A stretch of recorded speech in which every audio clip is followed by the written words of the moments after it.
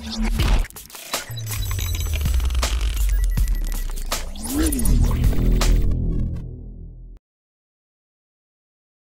Friends sports பற்றின செய்திகளை உடனுக்குடனாக தெரிஞ்சுக்கொள்ள நம்ம தமிழ் கிரிக்கெட் சேனலை சப்ஸ்கிரைப் பண்ணுங்க.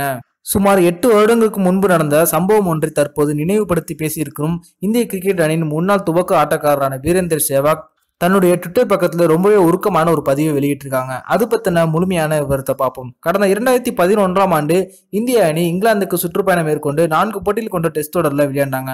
இதில் முதல் நடந்த இரண்டு டெஸ்ட் போட்டிகளிலும் இந்திய அணி தோல்வியடைந்தாங்க முதல் போட்டியில் இந்திய அணி முதலில் பேட்டிங் செய்து இருநூத்தி இருபத்தி நாலு ரன்களை மட்டுமே எடுத்து ஆல் அவுட் ஆயிட்டாங்க. ஆனா இங்கிலாந்து அணியும் எழுநூத்தி பத்து ரன்களை குவித்து வெற்றி பெற்றுட்டாங்க.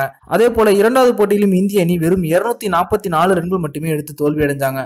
மூன்றாவது டெஸ்ட் போட்டியில் இந்திய அணியின் துவக்க ஆட்டக்காரரான வீரேந்தர் சேவா களமிறக்கப்பட்டார். இவர் முதல் இரண்டு போட்டிகளில் இந்திய அணிக்காக விளையாடவில்லை என்பது குறிப்பிடத்தக்கது. இரண்டு போட்டிகளில் களமிறங்கிய வீரேந்தர் சேவாக் அந்த இரண்டு போட்டிகளிலுமே டக் அவுட் ஆகி வெளியேறிட்டார்.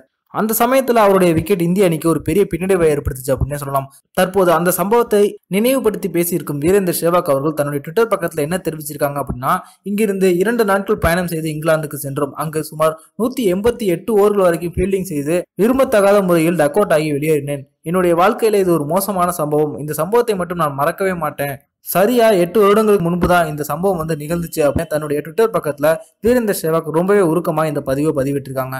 இந்த வீடியோ உங்களுக்கு பிடிச்சிருந்துச்சுன்னா லைக் பண்ணுங்கள் ஷேர் பண்ணுங்கள் நன்றி.